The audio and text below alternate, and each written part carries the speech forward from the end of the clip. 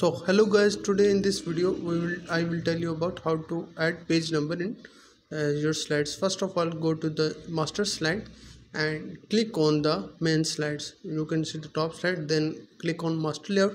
Check that the checkbox are uh, of number uh, slides and footer.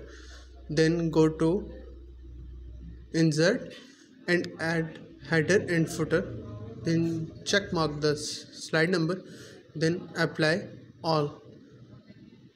Now if you want to make any color or uh, any uh, size to your uh, page number then give it. Then after give it you can click on slide master and close master slide. Here is your new, new number page number okay